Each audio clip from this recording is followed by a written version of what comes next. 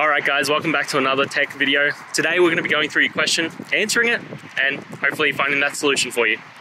Now, don't forget to stay just a little bit crazy like me, and hopefully you'll get to that resolution. Anyway, on to the video. Cheers.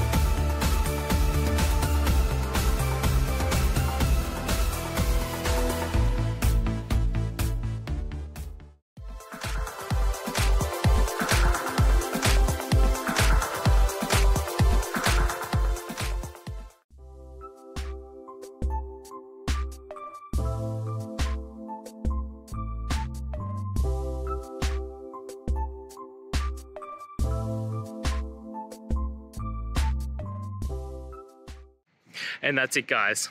I hope the video has helped find you to that resolution and you're able to get through your problem. If it did guys, please hit subscribe. I really appreciate it. It does help me out. And until next time, have a good one.